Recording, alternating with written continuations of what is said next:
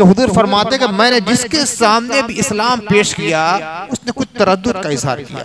कुछ लोग जो इस्लाम कबूल कर चुके थे को भी तरद पैदा हो गया। इस्लाम कबूल कर चुके थे वो सहाबी ही तो थे। लेकिन अबू बकर की शान ये है कि जैसे ही मैंने इस्लाम की बात की, बिला चू, चरा और बिला गौर तफक्र फ़ौरन इस्लाम यकीन हमेशा होते रहेंगे।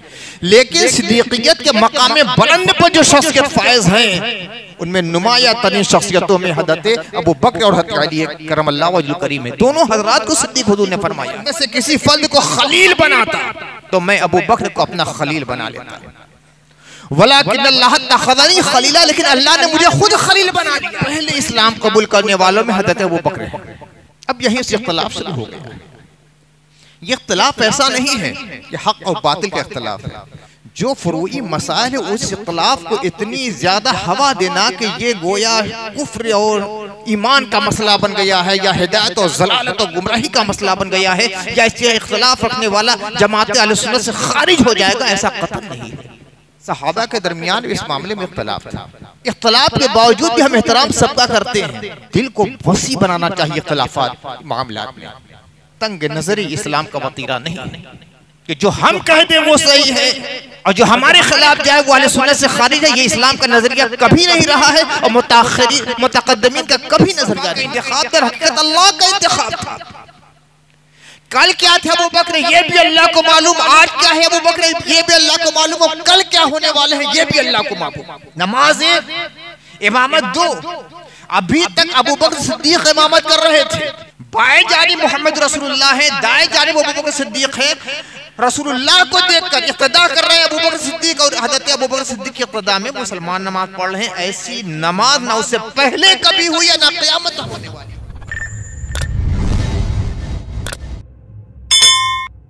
वली वसलात वसलाम नबी अम्मा बाद फ़ाऊज़ बिल्लाहि मिनश शैतानिर रजीम बिस्मिल्लाहिर रहमानिर रहीम वस्साबिक़ूनल अव्वलूना मिनल मुहाजिरीन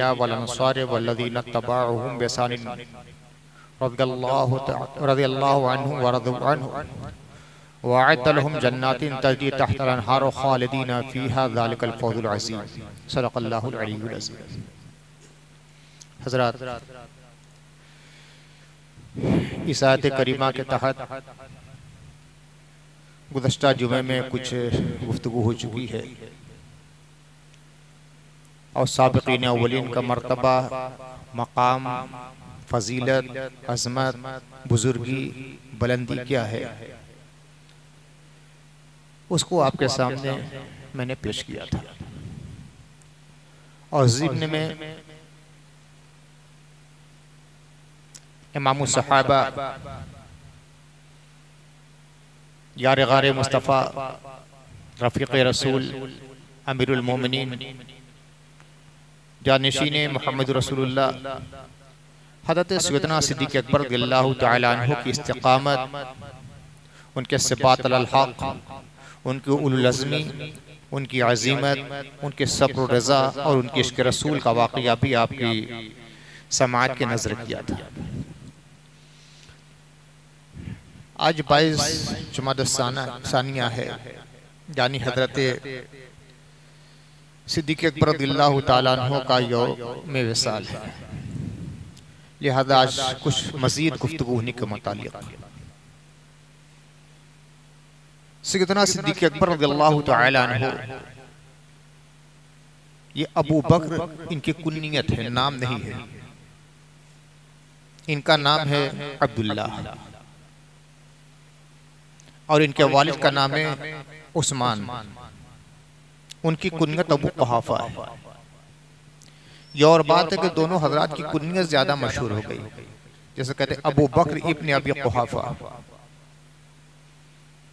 ये अबू कुहाफा के नाम से मशहूर हो गए वो अबू बकर के नाम से मशहूर हो गए। लेकिन सैदना सिद्दीकी अकबर अल्लाह तु का जो नाम है हज़रत आयशा खुद फरमाती हैं।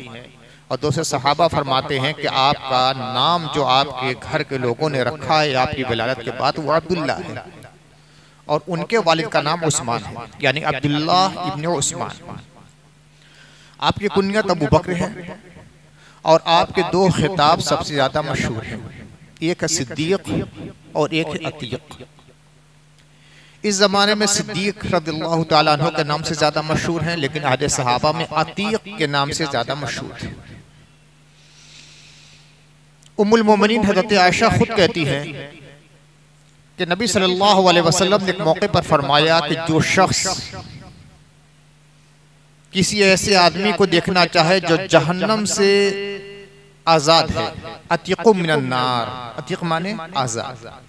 जो जहन्नम से आज़ाद शख्स को देखना चाहे तो अबू बकर की तरफ़ देखे। उसी दिन से उनका नाम अतीक पड़ गया और लोग अबू बकर से ज़्यादा अतीक का लफ्ज इस्तेमाल करने लगे। तो आधे सहाबा में अतीक के नाम से ज़्यादा मशहूर थे यानी जिसे अल्लाह ने हमेशा के लिए जहन्नम से आज़ाद फरमा दिया है। और मुख्तलिफ़ रवायतें इस बारे में है कि हजूर ने अतीक फरमाया। उसी तरह अल्लाह के नबी सल्लल्लाहु अलैहि वसल्लम ने इन्हें सिद्दीक भी कहा है। और दो मौके पर इनकी सिद्दीकियत का सबसे बढ़कर जहूर हुआ है। एक तो ये कि हुजूर ने फरमाया कि जिसके सामने भी मैंने इस्लाम पेश किया। ये उनके बारे में देखी बात हो रही है जो हुजूर वसल्लम के घर के अलावा के अफराद है? यानी हज़रत खदीजा और हज़रत अली की बात नहीं।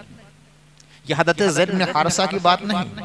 हज़रत जैद ने हारसा को अल्लाह के नबी ने अपना मुतबन्ना बना लिया था। ले पालक। गुलाम थे। हजूर ने आज़ाद करके अपनी आगोश तरबियत उन्हें ले लिया था। और हज़रत मौलाए कायनात की तो तरबियत फरमाते ही थे। आपके जजाजात भाई थे। हज़रत उम्मुल मोमिनीन मुसलमानों की सबसे बड़ी माँ हत खदल कुबरा वो तो आपकी जौजा थी। तो मैं इन तीनों की बात नहीं करता। इनके अलावा के बारे में है। कि हुजूर फरमाते कि मैंने जिसके सामने भी इस्लाम पेश किया उसने कुछ तरद का इजहार किया। सोच, विचार किया, फिर इस्लाम कबूल किया।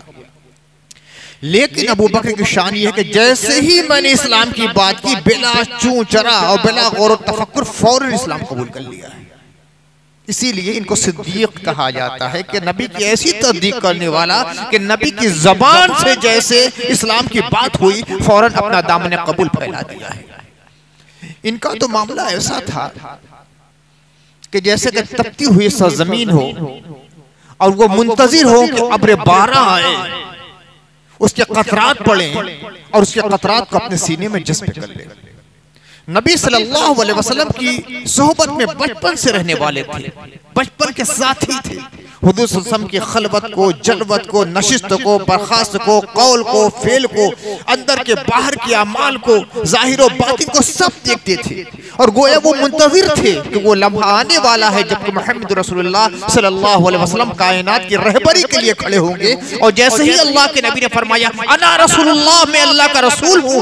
सिद्दीक अकबर ने कहा कि, या रसूलुल्लाह, अशहदु अल्ला इसीलिए इनको सिद्दीक कहा गया। और दूसरा मरहला ये आया कि हज़रत आयशा कहती हैं कि जब अल्लाह के नबी सल्लल्लाहु अलैहि वसल्लम को मिराज से मुशर्रफ फरमाया गया तो, तो इब्तदान अल्लाह के नबी सल्लल्लाहु अलैहि वसल्लम ने हरम मक्का में सुबह के वक्त बस इतना कहा है कि मुझे मस्जिद हराम से मस्जिद अक्सा तक की सैर कराई गई है। काफ़ी ठहाके लगाने लगे मधके उड़ाने लगे इत्तेजा करने लगे तालियाँ बजाने लगे। और आयशा की रिवायत है कुछ लोग कुछ लोग जो इस्लाम कबूल कर चुके थे उनको भी तरद पैदा हो गया इस्लाम कबूल कर चुके थे वो सहाबी ही तो थे। मगर तरद पैदा हो गया ये कैसे हो सकता है? अब वो हज़रत अबू बकर के पास गए। कहा कि अबू बकर मालूम है मोहम्मद रसूलुल्लाह ने क्या कहा है? क्या कहा है? कहा कि फरमाया है कि आज रात मुझको मिराज हुई है। और मस्जिद हराम से मैं अफसा तक गया और वापस आया। क्या कहते हैं इसके बारे में? कहा अगर अल्लाह के नबी ने फरमाया है तो इस पर भी ईमान है। मुस्तफ़ा से मुलाकात नहीं हुई अभी। मुस्तफ़ा की जबान से एक जुमला भी नहीं सुना है। सुनने वालों ने बतलाया कि रसूल ने ऐसा फरमाया तो अगर रसूल ने फरमा दिया है तो इस पर भी हमारा ईमान कहा कि इसको मानते हो तुम? रात के थोड़े से हिस्से में मस्जिद हराम से मस्जिद अफसा तक जाना वहाँ से वापस आना जो काम हफ्तों का है रात के थोड़े से हिस्से में। ये कैसे मुमकिन है? कहा कि इससे ज़्यादा ताजुब अंगेज बात पर मैं तो ईमान लाता हूँ। रसूल सुबह को कहते हैं कि जिब्रील सिदरा से आए थे अल्लाह की आयत लेकर मैंने कहा कि आमन तो वह सदक तो आपने फरमाया शाम को कि जिब्रील आए थे मैंने मान लिया। तो इससे ज़्यादा ताजुब खेज बात पर मैं ईमान लाने वाला हूँ। ये तो जमीनी सफ़र की बात है हजूर ने फरमा दिया तो इस पर भी ईमान हजूर को जब खबर मिली तो कहा कि ये सिद्दीक है सिद्दीकियत की ये शान देखिए सिद्दीक तो हमेशा होते रहेंगे।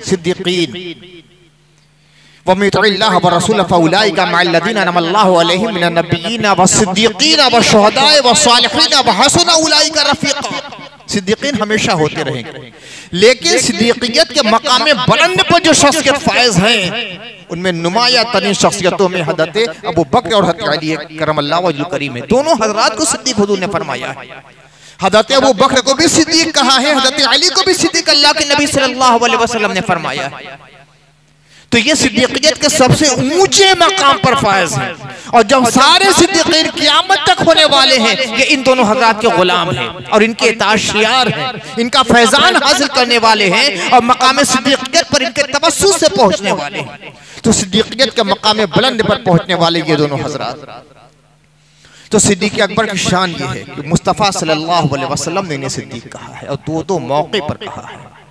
अतीत दो दो मौके पर कहा है।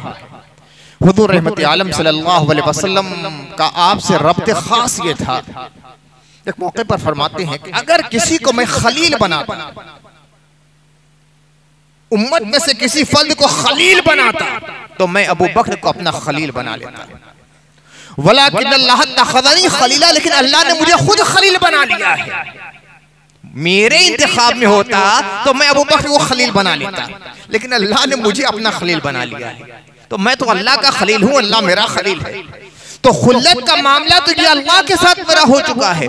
यहाँ से ये पता चलता है कि खुल्लत के बाद मोहब्बत के जितने मराहिल हैं सब हज़रत सिद्दीक अकबर को सारे फजाइल हासिल हैं कभी मान लाए। ये तो पूरी उम्मत का इजमा है कि सबसे पहले इस्लाम कबूल करने वालों में हदत है वो बकरे सबसे पहले इस्लाम कबूल करने वालों लेकिन इन सबसे पहले इस्लाम कबूल करने वालों में सबसे पहले इस्लाम किसने कबूल किया है? तो इस बारे में भी तकरीबन इजमा है कि सबसे पहले सबसे पहले इस्लाम कबूल करने वाले। नबी सल्लल्लाहु अलैहि वसल्लम के ऐलान नबूवत पर सबसे पहले स्वाद करने वाली। तमाम मोमिनीन मोमिनात की सबसे बड़ी माँ हदत सैदा खदियतुल कुबरा रज़ियल्लाहु तआला अलैहा सलाम सबसे पहले इस्लाम कबूल करने वाली एक खातून हदत खदीजा। फिर उसके बाद अब यहीं से इख्तलाफ शुरू हो गया। ये इख्तलाफ ऐसा नहीं है कि हक और बातिल का इख्तलाफ है। गुमराही वाला इख्तलाफ है।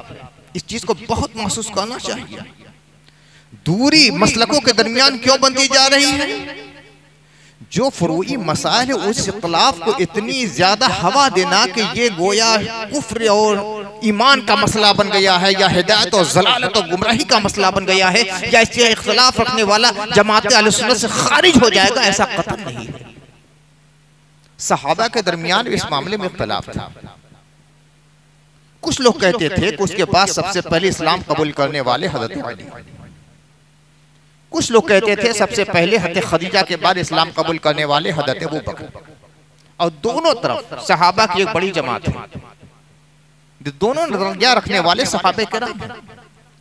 और ये अख्तलाफ जो चला तो ताबईन तक चला तबा ताबईन तक चला अइमा तक चला फ़ुक़हा तक चला मुहद्दिसीन तक चला और आज तक चला रहा है। लेकिन ये इख्तलाफ वैसे ही है जैसे इमाम अबू हनीफा इमाम शाफी इमाम मालिक इमाम हम्बल के खिलाफ। इख्तलाफ के बावजूद भी हम एहतराम सबका करते हैं। दिल को वसी बनाना चाहिए इख्तलाफात। मामला में। तंग नजरी इस्लाम का वतीरा नहीं। कि जो हम कह दें वो सही है। और जो हमारे खिलाफ जाए वो वाले सुनने से खारिज है। ये इस्लाम का नज़रिया कभी नहीं रहा है और मुतकदमीन का कभी नज़रिया नहीं रहा है। वो अपना एक इत्तेहादी नज़रिया रखते थे महकाना नज़रिया रखते थे। लेकिन अगर दूसरा भी कोई इसके खिलाफ नज़रिया रखता था तो उसका भी अदब एहतराम करते थे। उसके लिए गुमराही का फतवा कभी नहीं लगाया करते थे। वरना बड़े बड़े साहबा के ऊपर ये फतवे लग जाएँगे। बड़े बड़े अइमा के ऊपर ये फतवे लग जाएँगे। लेकिन बहुत से अकाबिर ऐसे भी हैं जो हज़रत अली की हिमायत में है कि वो सबसे पहले ईमान कबूल करने वाले जैसे इमाम इब्न हजर अस्कलानी। कि उनके बाद आज तक पूरी दुनिया में उनके पाए का कोई मुहद्दिस और हाफिज हदीस पैदा नहीं हुआ है। वो फरमाते अल मुरज्जह अन्नहु अव्वल मन अस्लम अली। राजह बात यह है कि जो शख्स सबसे पहले इस्लाम कबूल करने वाले हैं वो हज़रत अली है। लेकिन ये हज़रत खदीजा के बाद की बात है। हज़रत खदीजा के बारे में इजमा है क्या सबसे पहले ईमान कबूल करने वाली? दीगर हजरात ने इस अख्तलाफ की तोजी बयान की है। ये अख्तलाफ पैदा क्यों हुआ? कुछ कहते हैं अली ईमान कबूल करने वाले कुछ कहते हैं तो बकर सबसे पहले ईमान कबूल करने वाले अख्तलाफ क्यों हुआ? तो बड़ी काबिल कद बात कुछ ने कही है। फरमाया कि हज़रत खदीजा के बाद सबसे पहले ईमान कबूल करने वाले तो हज़रत अली हैं। लेकिन हज़रत अली ने अपने इस्लाम को छुपाया था दस साल की उम्र शरीफ थी। और अपने वालिद अबू तालिब के डर से छुपाया था। और हज़रत बकर अलैहि वसल्लम के उम्र से दो साल छूटे थे। यानी अड़तीस साल उनकी उम्र शरीफ थी। और उस वक्त बहुत मुआज़ थे। बड़ी बुज़ुर्ग शख्सियत मानी जाती थी, बड़ी काबिल एहतराम थी, बड़े मौकर शख्सियत थी। उन्होंने अपने इस्लाम का ऐलान कर दिया। तो जिन्होंने इस्लाम का ऐलान कर दिया, उनके बारे में लोगों ने जान लिया। और जिन्होंने इस्लाम का ऐलान नहीं किया, उनके इस्लाम के बारे में लोगों ने नहीं जाना तो ये गलत फहमी हो गई कि अबू बकर पहले इस्लाम कबूल करने वाले हैं, अली बाद में इस्लाम कबूल करने वाले एक रोज रसूलुल्लाह सल्लल्लाहु अलैहि वसल्लम के साथ हज़रत अली इबादत कर रहे थे।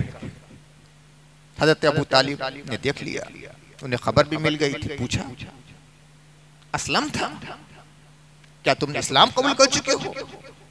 हज़रत अली ने कहा मैंने इस्लाम कबूल कर लिया न डाटा न टपटा न सख्ती की न झिड़का ताकि ठीक है? इस्लाम कबूल कर लिया है तो मोहम्मद का पूरी मजबूती के साथ देना और कभी भी इनकी मदद से इन्हें मत करना ये पहली वसीयत थी। हज़रत अबू तालिब की अपने साहबजादे हज़रत अब लोगों ने जाना कि अली ने भी इस्लाम कबूल कर लिया। तो इख्तलाफात होते रहते हैं ये कोई ऐसी बड़ी बात नहीं है जिसका रुझान जिस तरफ़ है उसे कबूल कर सकता है। चाहे इनको कहो या उनको कहो कोई फ़र्क नहीं पड़ेगा। ये ताकीकी मसला है। हज़रत सैयदना सिद्दीक अकबर रदियल्लाहु ताला कारोबारी आदमी थे। ताजिर आदमी थे। मुतमविल आदमी थे। लेकिन जब इस्लाम कबूल किया तो अपनी सारी दौलत सारा माल सारा सब कुछ इस्लाम की राह में पेश कर दिया और नज़र कर दिया। हकीकत यह है कि तीन शख्सियतें हैं जिनका इस्लाम के मानने वालों पे सबसे बड़ा एहसान है।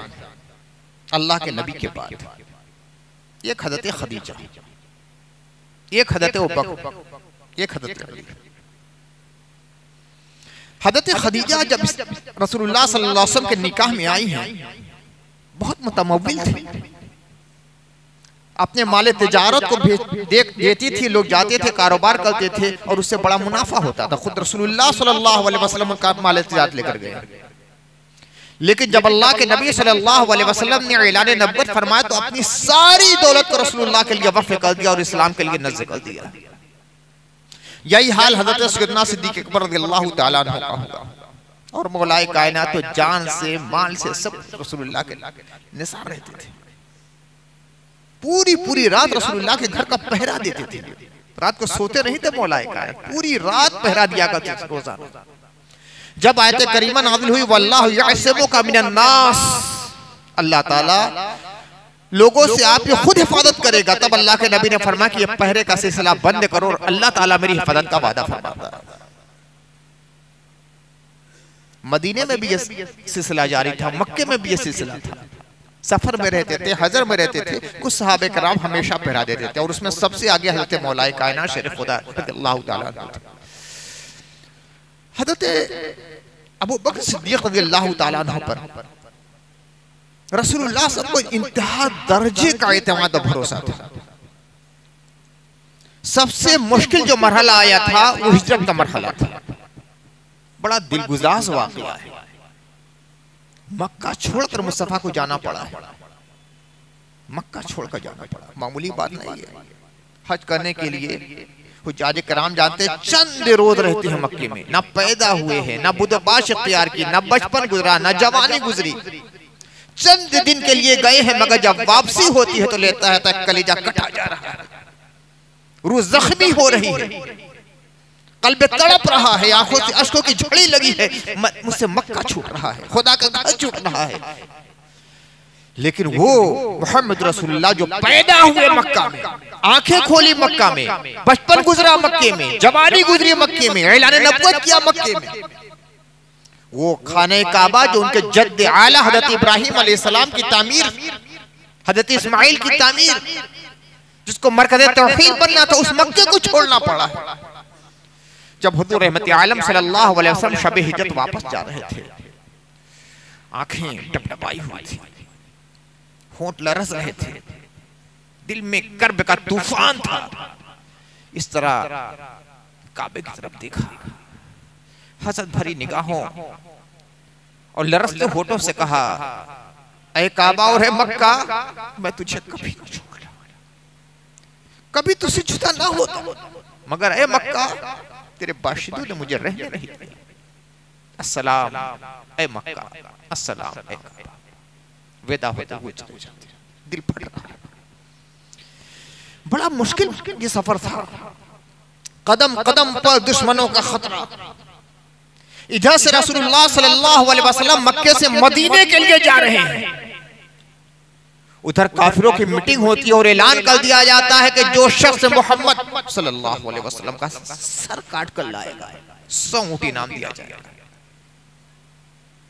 ऐलान कर दिया जाता। है जो मोहम्मद का सर कलम करके लाएगा सौ अब मक्के के बहुत से लालची और दुनिया परस दौलत के गुलाम कुफरे के बंदे दुश्मनान इस्लाम दुश्मनान रसूल अपने घोड़े दौड़ाते हुए जा रहे हैं कि कहीं से मोहम्मद को ज़िंदा या मुद्दा गिरफ़्तार कर लाए। इनामी इनाम चादी ही चादी। इतना खतरनाक सफ़र था। मोहम्मद रसूलुल्लाह सल्लल्लाहु अलैहि वसल्लम क्या किसी ऐसे आदमी का इंतखाब करते जिसका ईमान मुजब्जब होता? जो शख्स सबसे ज़्यादा मोतमर सबसे ज़्यादा मोतमर सबसे ज़्यादा मुस्तन सबसे ज़्यादा भरोसे वाला था उसी का तो इंतखाब होता।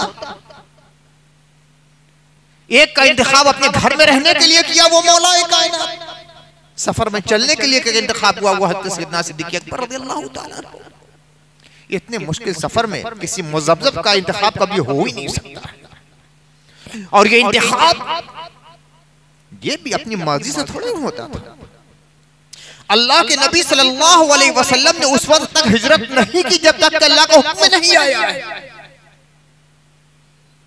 और इंतखाब भी जो हुआ है, वो मर्ज़ी इलाही से हुआ है। तो ये मुस्तफ़ा का इंतखाब तो हकीकत अल्लाह का इंतखाब था। कल क्या थे अबू बकर? ये भी अल्लाह को मालूम। आज क्या है अबू बकर? ये भी अल्लाह को मालूम। और कल क्या होने वाले हैं? ये भी अल्लाह को मालूम। ये मालूम था। मोतबर तरीन शख्सियत है मोतबर तरीन शख्सियत है ये वो शख्सियत है कि अपनी गर्दन तो कटा देंगे मुस्तफ़ा के पाँव में कांटा नहीं चुभने देंगे। उसके लिए अल्लाह के नबी ने इंतखा फरमाया हज़रत सैदना अबू बकर सिद्दीक अकबर का। और हक रफाकत अदा कर दिया है। हक रफाकत अदा कर दिया है। लाखों सलाम हो लाखों रहमतें हो हज़रत सैदना अबू बकर सिद्दीक ताला की शख्सियत पर। पूरे सफ़र में क्या मामला रहा है? अल्लाह अकबर। एक वाकये को बस जहन में रख लिया जाता है। तो लगता है कि इश्क क्या है? मोहब्बत क्या है? और मोहब्बत हमसे तकाजा क्या करती है? इतनी मुश्किल सफ़र में भी पूरी कोशिश थी कि मुस्तफ़ा को कोई तकलीफ़ ना होने चाहे सारी तकालीफ के तूफ़ान हमसे गुजर जाए, मगर मुस्तफ़ा के ऊपर कोई आँच ना ले पाए। और बड़ी ही हिफाजत के साथ मदीने तक साथ लेकर गए हज़रत अबू बकर सिद्दीक फिर पूरी ज़िंदगी। हजूर के जमाने हज़रत बकर ऐसे मुशीर ऐसे मोतमत और मोतबर साथी की हैसियत से गुजारी है। कि अगर सही तरीके से कोई आदमी तारीख का मुताला कर ले हदीसों का मुताला कर ले। तो मैं समझता हूँ कि हज़रत वो बकर के बारे में लपकुशाई की कभी ज़रूरत नहीं करेगा उसका दिल काम चाहेगा कुछ कहने से पहले। हर मसलक के लोगों को। हर मसल के लोगों को। दिल को वसी करके किताबों का मुताला करना चाहिए। पहले ही से खाका जहन में बन जाता है। और उसके बाद जब मुताला किया जाता है तो तीरकियों में आदमी घिर जाता है। और खाली जे न कर हकीकत की तलाश में जब मुताला किया जाएगा।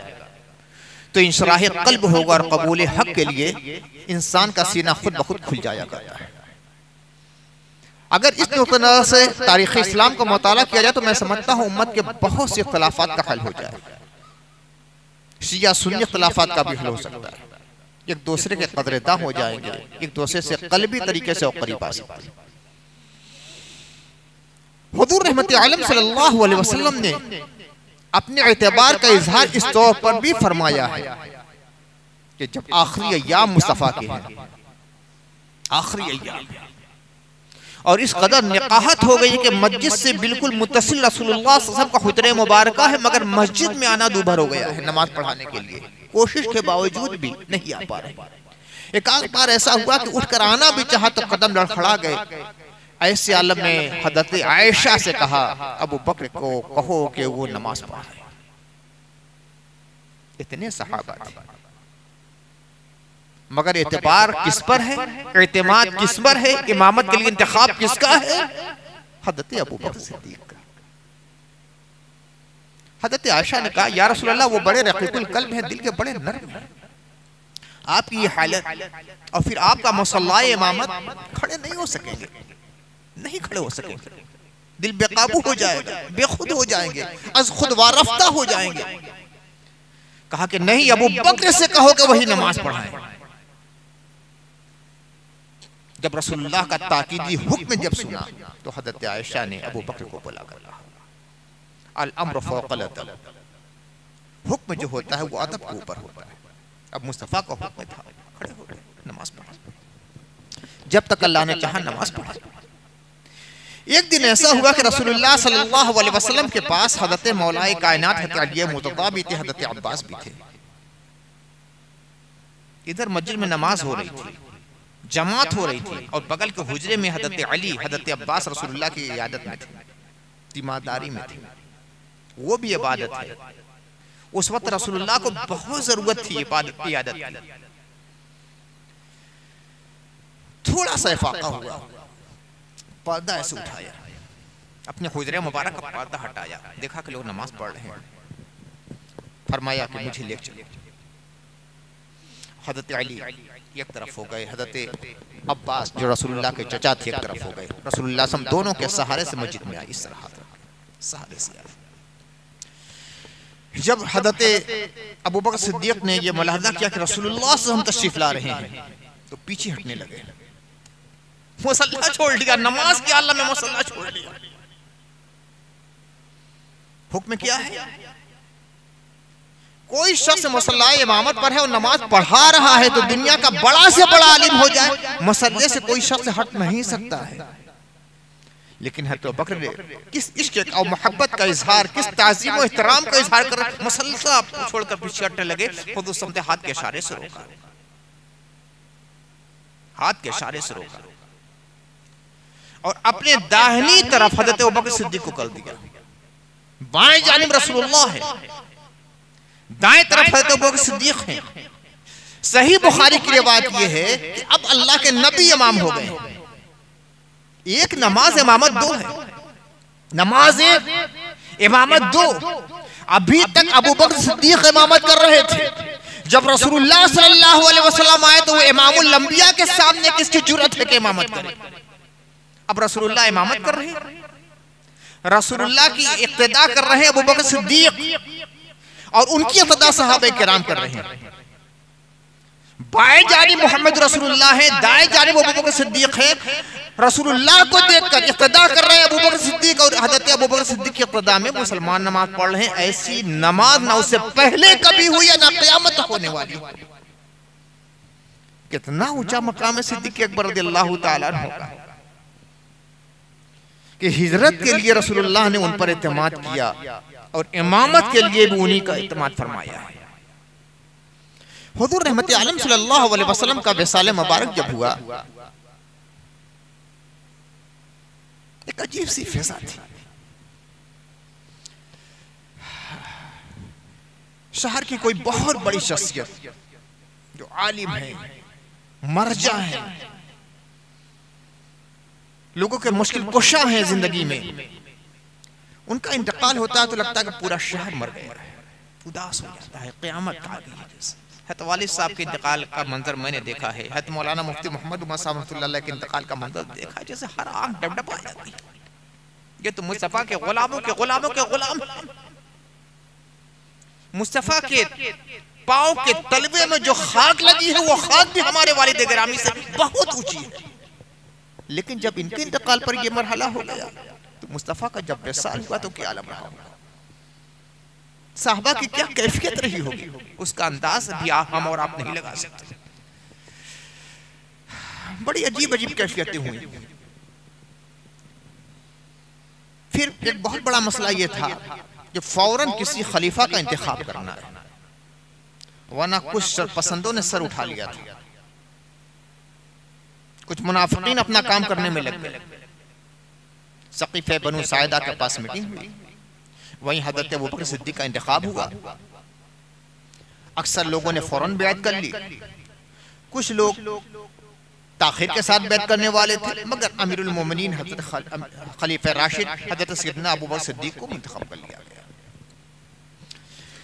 जब आपको खलीफा बना लिया गया है सुबह के वक्त घर से निकले कारोबार के लिए तिजारत करते थे कपड़े का कारोबार था। कुछ कारखाने वो बुनवाते थे। बुनाई का काम करवाते थे। कुछ माल खरीदते थे, बाज़ार में बेचते थे। रास्ते में मिले हज़रत बकर। हज़रत उमर और बकर से मिले। कहा कि, कहाँ जा रहे हैं आप? कहा बताया जा रहा कारोबार के लिए बच्चे हैं यालो अयाल हैं, कुछ चाहिए ना रोजी रोटी के लिए। कहा कि, आप मुसलमान के हाकिम बन गए हैं रसूलुल्लाह के खलीफा बन चुके हैं। बहुत सारे मसाइल कारोबार में अपने औकात देंगे तो इनके मसाइल को कौन हल करेगा? तो कहा कि मेरी घर की कफालत का क्या इंतज़ाम होगा? अगर मैं छोड़कर कार्य खिलाफती अंजाम दूँ तो मेरा घर कैसे चलेगा? हज़रत उमर रज़ी अल्लाह ने कहा कि चलो उबैदा इब्न अबुल जर्राह के पास चलते हैं। इनको अल्लाह के नबी सल्लल्लाहु अलैहि वसल्लम ने अमीन हादिल उम्मा कहा है, इस उम्मत के अमीन। और जो मुसलमानों के बैतुल माल में सामान होता था, जो इन्हीं के तहवील में होता था। इनकी अमानत का ऐलान रसूलुल्लाह ने फरमाया। कहा कि चलो उनके पास चलते हैं। उन्होंने जब सुना तो कहा कि हाँ इस तरह अगर कारोबार में अपने औकात लगाएँगे तो कार्य खिलाफत कैसे अंजाम देंगे, बहुत काम होता है।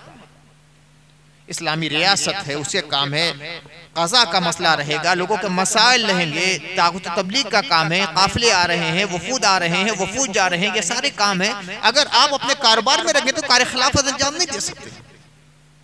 तो हुआ कि फिर उसकी तरकीब क्या होगी?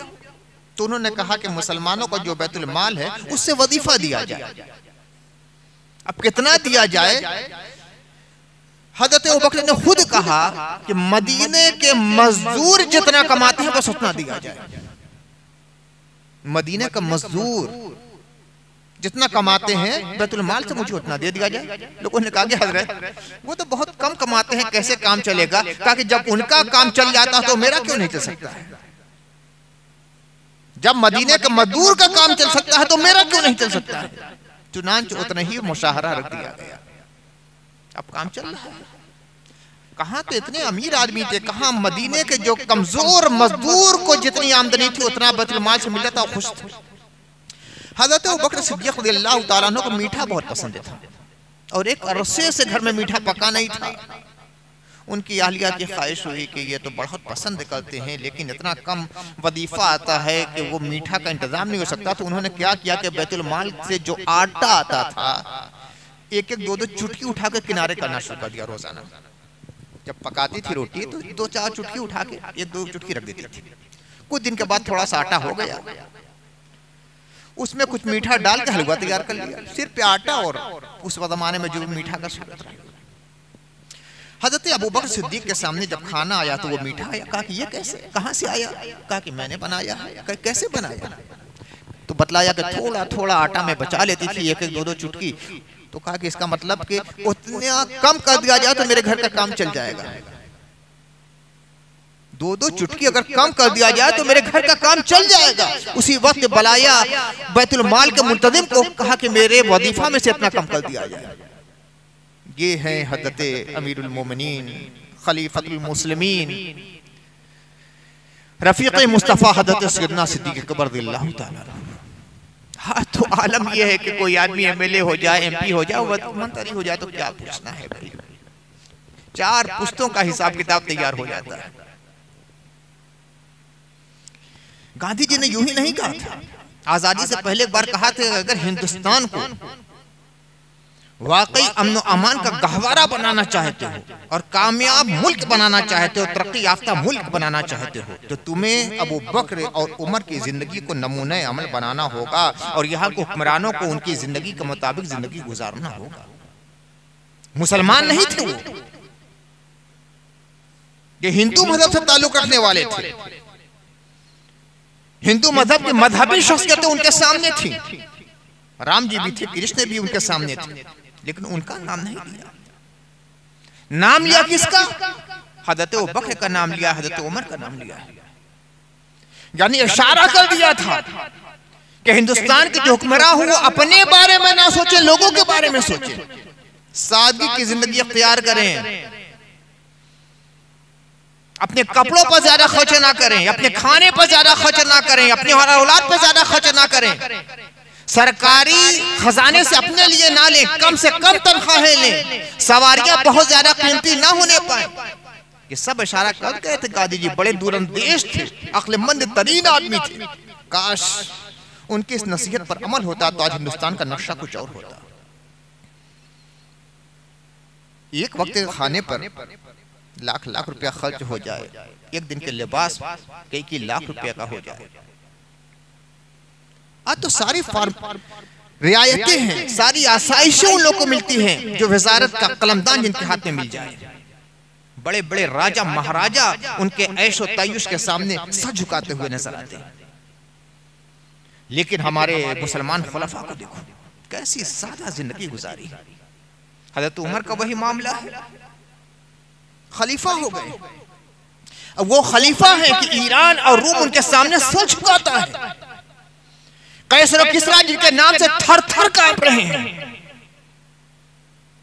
जिन्होंने फारस की ईंट से ईंट बजा दी है। यहूदियत का कला कमा कर दिया है। मजूसियत का जनाजा निकाल दिया है। सिर को कुफर के ताबूत में आखिरी कील ठोक दी है। मगर कितनी सादा ज़िंदगी है। मोटा झोटा पहनते हैं। एक बार जब शाम के सफ़र पर गए हैं मस्जिद अक्सा का मामला था तो वहाँ के जो सिपा सालात उन्होंने अच्छा कपड़ा पिछिया देखा, थोड़ा पहना होगा नहीं नहीं, वो मुझे आराम नहीं मिल रहा। उतार दिया, कहा वही लाओ, मेरा कंबल वाला जो कपड़ा है मोटा मोटा जो पसीने से शराबो था, पूरे सफ़र में पहने थे, पसीने डुबा, वही, कहा कि मुझे इसी में आराम मिलता है। अच्छा घोड़ा पेश किया गया। जैसे बैठे कलीले करने लगा, कहा कि नहीं नहीं, मुझे ये नहीं चाहिए, मेरा वो घोड़ा ला ये सादगी है उमर रदी अल्लाह तआला हज़रत मौलाए कायनात खलीफा हो गए हैं। उनका गुलाम कंबर है जा रहे हैं साथ में। बाज़ार में। गए कहा कि बेटा कंबर जो कपड़ा अच्छा लगे खरीद लो। उसने कपड़ा ले लिया। उससे घटिया कपड़ा उससे हल्का कपड़ा उससे कम कीमत कपड़ा हज़रत मौलाए कायनात ले लिया कहा कि हज़रत अरे ये क्या कर रहे हैं आप कहा कि अरे मियाँ तुम जवान आदमी हो मैं तो बूढ़ा होने लगा मुझे कीमती कपड़े की क्या ज़रूरत है? है दुनिया में मिसाल। अपने गुलाम और नौकर को अच्छा पहनाया जा रहा है, खुद मोटा झोटा पहना जा रहा है। वाकई दुनिया को हुक्मरान खास तौर पर हिंदुस्तान को हुक्मरान इस पर अमल अगर कर ले तो आज भी हिंदुस्तान की तकदीर बदल सकती है। गांधी जी ने बिल्कुल सही कहा था कि अगर अबू बकर और उमर की सीरत को हमारे हुक्मरा इख्तियार करेंगे और उनकी ज़िंदगी का मुतालिया करते रहेंगे तो हिंदुस्तान अमन सुकून का और इशत का गहवारा बन जाएगा। राहत होगी। आराम होगा तरक्की होगी। लेकिन काश उनकी बात पे अमल किया जाता फरामोश कर दिया। हज़रत सैयदना अबू बकर सिद्दीक की ज़िंदगी मशाले राह है तमाम मुसलमानों के लिए। इश्क क्या होता है? मोहब्बत रसूल का तकाजा क्या है? नबी का अदब क्या है? एहतराम क्या है? इस्लाम को कैसे माना जाता है? इस्लाम को कैसे बचाया जाता है? ये सब हज़रत सिद्दीक अकबर की ज़िंदगी में वाजे तरीके पर एक रोशन मनारे की तरह नज़र आए अल्लाह ताला बेशुमार रहमत नादिल फरमाए। हज़रत सैदना सिद्दीक अकबर पर। आपकी आल औलाद पर। हज़रत सिद्दीक अकबर के तमाम रोफका पर आपके मुशीरों पर आपकी तबाह करने वाले पर तमाम सहाबा पर तमाम हलबे। और पूरी उम्मत में एक बहुत बड़ा इम्तियाज़ सिद्दीक अकबर ताला का और भी है कि चार पुश्ते हैं जो रसूलुल्लाह की सहाबी हैं। चार पुश्ते। इनके अलावा किसी को यह मसब नहीं मिला। हज़रत अबू बकर के वालिद ग्रामी अबू कुहाफा जिनका नाम उस्मान है। वो भी हुजूर के सहाबी। फिर हज़रत अबू बकर दूसरे नंबर पर। हज़रत अबू बकर के वालिद है तो उस्मान। उस्मान अबू कुहाफा। ये मुसलमान। उसके बाद है तो बकर। फिर है तो बकर के साहबजादे हज़रत अब्दुलरहमान ये भी सहाबी। हज़रत अब्दुलरहमान के साहबजादे मोहम्मद इब्न अब्दुलरहमान ये भी सहाबी। चार पुश्ते मनसबे सहाबियत पर सरफराज हैं। ये ऐसा इम्तियाज़ है कि सिद्दीक अकबर अन्हु के अलावा किसी को हासिल नहीं। अल्लाहुम्मा सल्ली अला सय्यिदिना व मौलाना मुहम्मद व अला आलि सय्यिदिना व मौलाना मुहम्मद व बारिक वसल्लम। या अल्लाह हमें अपना इरफान अता फरमा दे। अपने रसूल सल्लल्लाहु अलैहि वसल्लम की सच्ची मोहब्बत अता फरमा दे या अल्लाह अपने रसूल के प्यारों का प्यार अता फरमा दे खुलफा रशदीन अहले बैत इज़ाम साबिकीन अव्वलीन तमाम सहाबे कराम की मोहब्बत और इश्क अता फरमा दे या अल्लाह शरीयत पर अमल करने की तौफीक अता फरमा दे या अल्लाह हम सबको अपने नेक बंदों में शामिल फरमा ले हम सब के गुनाहों को माफ़ फरमा दे और इतात शरीयत की हम सबको तौफीक अता फरमा व सल्लल्लाहु तआला अला खैर खल्क़िही सय्यदना व मौलाना मुहम्मद व आलिहि